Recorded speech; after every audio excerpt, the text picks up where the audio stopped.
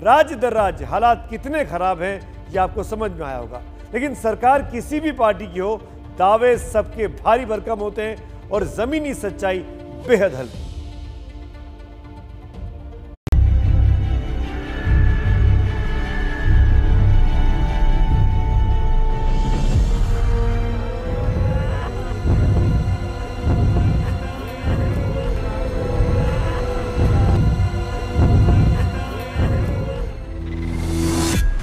महाराष्ट्र के भीड़ में एक ही एंबुलेंस में 22 शव लादे गए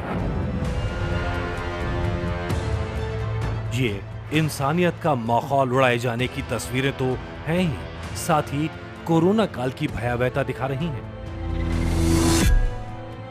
अंबाजोगाई इलाके के स्वामी रामानंद तीर्थ सरकारी अस्पताल में रविवार के दिन 22 मरीजों की मौत हुई। एंबुलेंस की कमी के कारण इन्हें दिल दहला देने वाले तरीके से अंतिम संस्कार के लिए लाया गया। एक ही एंबुलेंस में ज़्यादा डेड बॉडी लेने का सवाल आया है तो ये एडमिनिस्ट्रेशन की ज़वाबदारी है। मरीज़ को दवाई देना, उसका इलाज करना, ये डॉक्टर का काम है। अस्पताल प्रशासन चाहे जो सफ़ाई दे, लेकिन शवों के साथ ये बर्ताव दिल दुखाता है।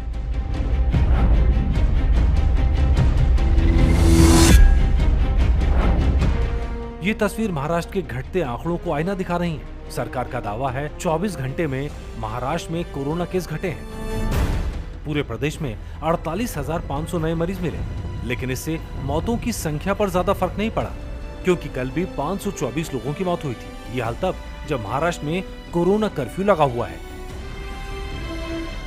ये तस्वीरें देश की राजधानी दिल्ली की हैं जहाँ चिताओं की राख ठंडी नहीं हो रही।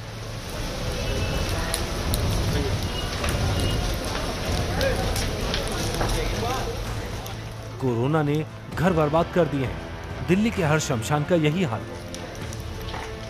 इसी वजह से देश की राजधानी दिल्ली में लॉकडाउन फिर से बढ़ाना पड़ा है। इसके बाद भी कल बीस हज़ार से ज़्यादा केस सामने आए। दिल्ली की जनता परेशान है। न बेड मिल रहे हैं, न ऑक्सीजन। एक भगवान से प्रार्थना कर रहे हैं कि आज के बाद तो बिल्कुल ही कम हो जाए।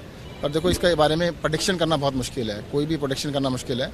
एक्सपर्ट्स का भी ये कहना है कि अभी देखो प्रोडिक्शन नहीं कर सकते हैं। आज भी केस बत्तीस परसेंट पॉजिटिविटी है। दो दिन पहले पैंतीस परसेंट था। तीस परसेंट से ऊपर पॉजिटिविटी बहुत ज़्यादा है। मैं तो कहता हूँ पंद्रह से ऊपर भी बहुत ज़्यादा कराएगी ऐसा ही हाल चुनावी राज्य पश्चिम बंगाल का भी है। चुनावों के दौरान तो खूब रैलियाँ हुई। खूब भीड़ जुटाई गई। चुनाव शुरू हुआ तो बमुश्किल ढाई सौ केस आ रहे थे। अब दो महीने बाद सोलह हज़ार केस रोज़ाना सामने आ रहे हैं।